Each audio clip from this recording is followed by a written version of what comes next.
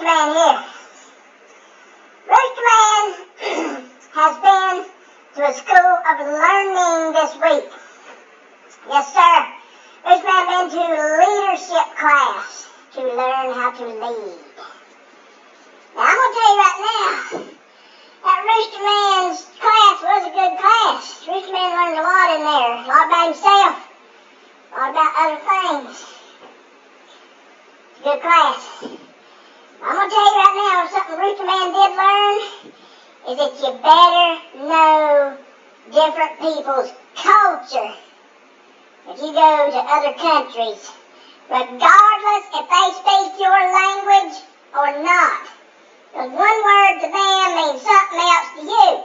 I'm going to give you an example of that right here just a second. Now, the man teaching Rooster Man this week was from the UK over there in, uh, in England. He's an Englishman. He was sitting there in that class and he looked around and he said, I don't want to hear no whinging going on. Rooster Man says, What you mean no whinging? Rooster Man play the winds all the time. Rooster Man be in no class, he ain't gonna whinge. Well, come find out, whinging means no whining. No whining. Rooster Man didn't know that. All she heard was whinging and he was gonna win. Now, two, he said something about putting something on the bonnet and in the boot. Well, Rooster Man said he wasn't going to be putting no bonnet on his head, and he sure wasn't going to be smelling his boots. Well, you know what? Well, come find out. A bonnet is under the hood of your car.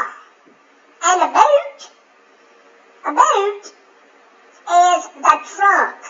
How would know that? All, the, all Man had was putting a bonnet on smelling somebody's boots, and Rooster Man was not going to do that. So Rooster Man learned something else. Then, we was getting ready to take a break.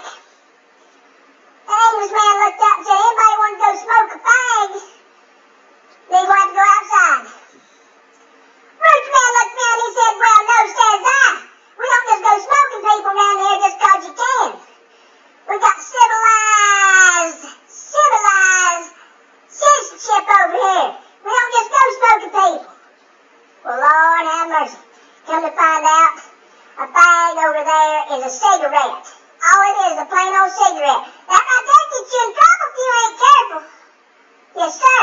Now, last but not least, that Englishman said something like this. He said, Oh, I dropped my knickers. Rich man said, Don't be dropping those snickers. Them snickers cost too much money. They're too good to be dropped around there on the floor. Pick up your nick snickers. That Englishman said, I did not say snickers. I said knickers. Come find out. Knickers are breeches. Good old breeches. All they are is breeches. Pants. Who would have known what a knicker is? Would you? People would have thought that was a Snicker candy bar. Somebody was wasted. Well, Rooster Man has learned a great deal this week. In leadership, he has learned about culture and what you need to know before you go over somewhere else to get yourself in trouble.